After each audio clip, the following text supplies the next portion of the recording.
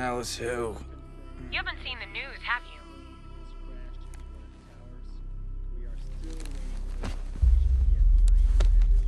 Once again, terrorist attacks plane for this Afghanistan morning leaves in at New noon. York Oh, shit. Tyson, are you listening to me? Yeah. Noon. I'll be there.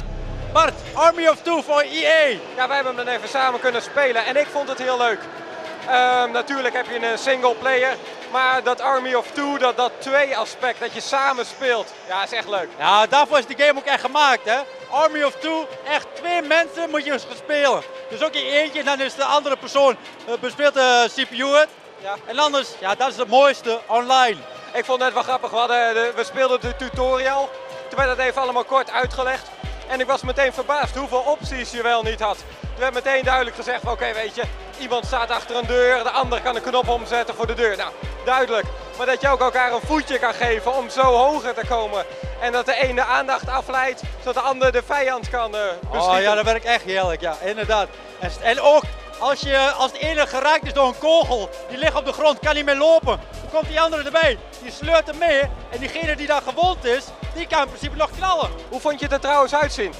Ja, ja. Ja, ik ben betere games. Of uh, er zijn mooiere games qua op het grafisch gebied. Ja, daar viel me iets tegen. Weet jij? Ik vond hem er wel aardig uitzien, maar zo'n spel moet het er denk ik niet van hebben dat het er fantastisch uitziet. Het is een leuk voordeel, maar de lol die het brengt om met z'n tweeën te spelen is ja. veel meer waard. Ja, precies.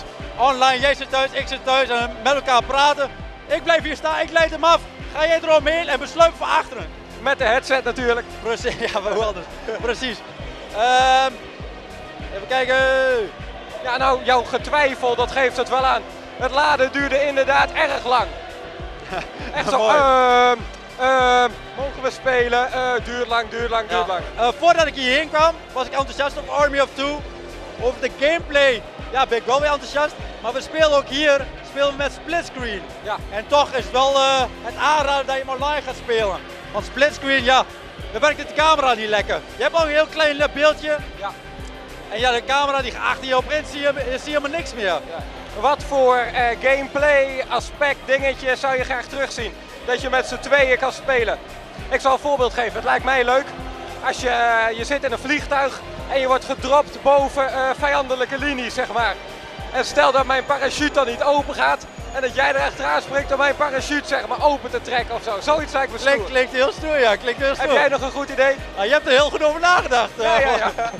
maar wat zou ik nog mooi vinden? Nou, hey, wat we helemaal nog niet hebben gezegd, wat er ook was. Je reed dus in zo'n buggy en die andere die stond achter een gun op de buggy. Ja. Dat was ook vet. Zeker weten.